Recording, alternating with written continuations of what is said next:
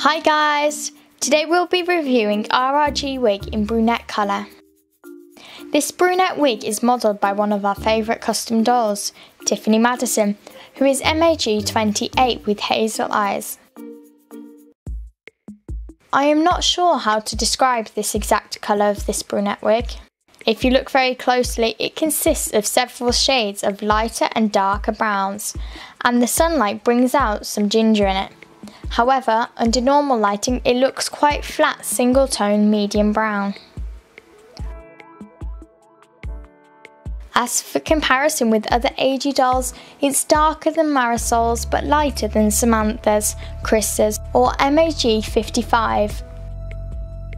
It is definitely much darker than Kanani though. The brunette wig is very soft, but it still feels like it's not as soft as our Be Forever Samantha, who has by far the softest wig of all AG dolls we have. It is very easy to brush. Just use wire brush and water or diluted braid spray on the ends to detangle. However, we have noticed it loses some hair during the brushing, even if we're being very careful. It is not just restricted to this colour. It may be because it's very wavy, and once it straightens itself a bit, the issue will settle down. As for the length, it's the same average 33 centimeters as all other wavy wigs we own, with some strands being longer than others. However, we feel that when we compare it to other 5 shades of RRG wigs we got, the brunette one looks the shortest. This particular wig seems most wavy of all the wigs we recently purchased, so maybe that's why it is the shortest. Personally, I would have preferred if the wig was the darker colour like MAG 55. I feel that the thickness of the RRG wig is much better than MAG 55's, who we found was quite thin.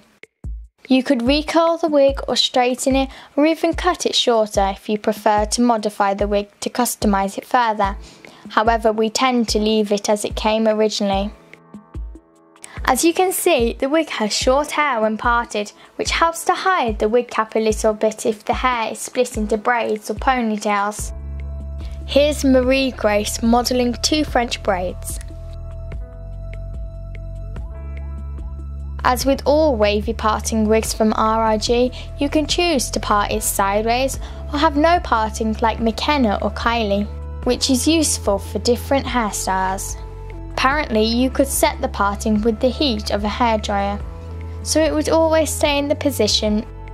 If you do decide to try this method yourself, please remember that the hair is made out of plastic and so is the plastic skin tag top. So please take great care not to burn and melt the plastic with the heat of the hairdryer. The wig cap is light in colour, it's very stretchy and it fits our American Girl dolls very well.